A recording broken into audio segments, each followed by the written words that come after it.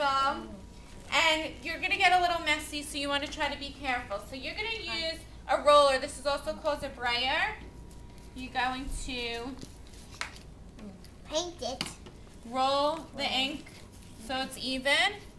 And then you're going to paint the fish. I always wanted to paint a fish. Me too. No, it's not a real fish. It's not fake fish. fish. Sit down to make sure you get every edge. Well, we'll mostly. It's never going to be perfect. Everything's never perfect. Okay. Whoa. And then you have a record of what kind of fish it is and the size.